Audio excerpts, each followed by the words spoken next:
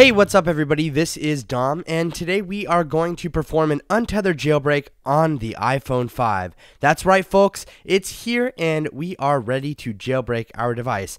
As you can see, I'm running a fresh, clean install of iOS 6.1, which is recommended, by the way. So go ahead and restore to a fresh install. You don't have to, but it is definitely recommended. Let's go ahead and get this process started by launching the evasi0n tool here, and you can download that using the link below. So as you can see here, we are in the jailbreak tool and we only have one button here and that is jailbreak. So let's go ahead and jailbreak the iPhone 5 here. We are going to go ahead and click jailbreak and start the process. So as you can see here, retrieving information from the device to generate jailbreak data. And also, like it says here, make a backup of your device before applying the jailbreak. Injecting stage 1 jailbreak data. So as you can see here on the device, it is preparing the jailbreak and it is waiting for the device to reboot. Do not touch your device.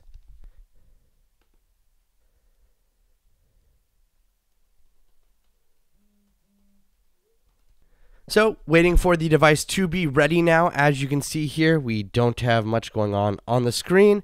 Just let it sit there. Do not touch your device at all.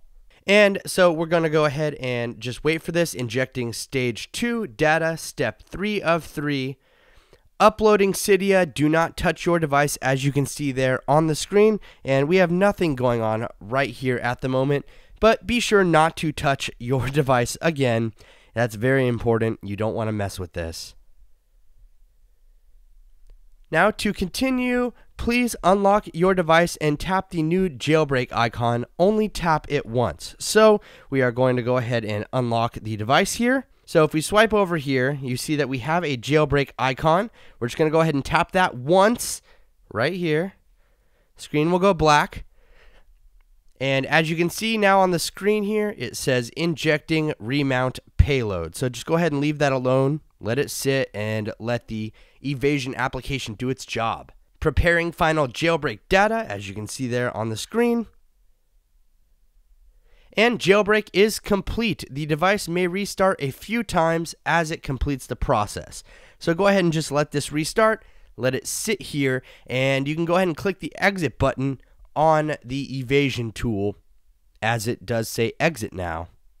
So we're going to go ahead and wait this out and let the jailbreak process finish.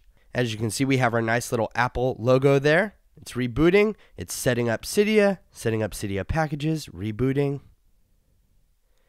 And here we go. Kind of let it do its thing as it's cleaning up here. Done. Continuing to boot. And just like that, we are all booted up. We are ready to unlock this device and see our new untethered jailbreak. So, as you can see here, everything's working perfect. And we have that beautiful little brown icon right there. So you can go ahead and tap that, launch it, let it prepare the file system. And we are good to go, you guys. We are on an untethered jailbreak for iOS 6 on an iPhone 5. And this same method will work for the fifth generation iPod Touch, the iPad mini, any device running iOS 6.1. So thank you very much for watching this video. I really appreciate it. Please let us know what you think down in the comments below. Any questions or concerns you may have, leave them down there as well. Thanks again for watching, everybody, and let's give a big thanks to the evad3rs who made this all possible. And we are ready to use Cydia. There we go. We have Cydia installed. Thanks again for watching. This is Dom from appadvice.com and have a great day.